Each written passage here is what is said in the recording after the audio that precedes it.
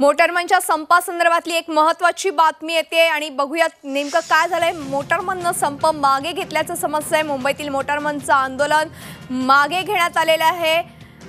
प्रशासनाच्या चर्चेनंतर संघटनेनं हा महत्त्वाचा निर्णय घेतलेला आहे. संध्याकाळची मुंबईकरांची रखडपट्टी अखेर टळली आहे असं म्हणायला हरकत नाही आहे एक महत्वाची बातमी मोटरमननं आपला संप जो आहे तो मागे घेतलाय आणि याच संदर्भात आपण अधिक माहिती जाणून घेणार आहोत. आमचे प्रतिनिधी दीपक भातुसे यांच्याकडून.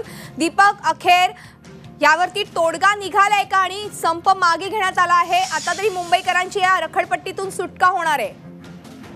मधुरा आंदोलन जे आहे ते मागे घेण्यात आलंय मोटर मंचचं आणि प्रामुख्याने आंदोलन होतं ते ओव्हरटाईम न करण्याची भूमिका मोटरमन्सनी घेतली होती आणि आधीच मोटर मंचची संख्या जी कमी असल्यामुळे रेल्वेच्या अनेक फेऱ्या रद्द कराव्या लागल्या होत्या मध्य रेल्वेला.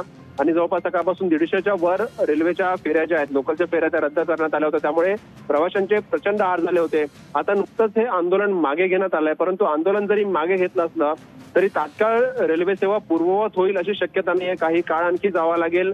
ही रेल्वे सेवा पूर्ववत व्हायला कारण आधीच्या रेल्वे रद्द झाल्यामुळे त्याचा परिणाम जो आहे तो पूर्ण वाहतुकीवर झालेला रेल्वेचा. त्यामुळे ती सुरळीत व्हायला आणखीन काही काळ जावं लागेल. त्यामुळे घरी परतणाऱ्या ज्या प्रवाशांना मध्य रेल्वेच्या आज काहीसा त्रास सहन करावाच लागणार आहे. धन्यवाद दीपक. मात्र ह्यावरती तोडगा नेमका निघालाय का? याविषयी काय सांगू शकाल? मधुरा जी प्रमुख मागणी होती की सिग्नल क्रॉस केल्यानंतर मोटरमनना थेट सेवेतून काढून टाकण्याची कारवाई त्यांच्यावर होत होती ती. ती कारवाई होऊ नये असं मोटरमनची मागणी प्रामुख्याने होती आणि त्याच्यावरच काल रात्रीपासून मध्य रेल्वे प्रशासनाबरोबर मोटरमन संघटनांची चर्चा सुरू होती आणि आता जी थोड्या वेळापूर्वी बैठक पार पडली रेल्वे प्रशासनाबरोबर त्या बैठकीमध्ये रेल्वेने मान्य केलेलं आहे की याच्यापुढे अशी कठोर कारवाई केली जाणार नाही सिग्नल. क्रॉस केल्यानंतर सेवेतून काढून टाकण्यासंदर्भातली कारवाई केली जाणार नाही एखादा मोठी घटना घडली तरच त्या संदर्भात कारवाईचा निर्णय रेल्वे प्रशासन घेईल परंतु. लहान अगदी सिग्नल क्रॉस केल्यानंतर जी पूर्वी कारवाई व्हायची.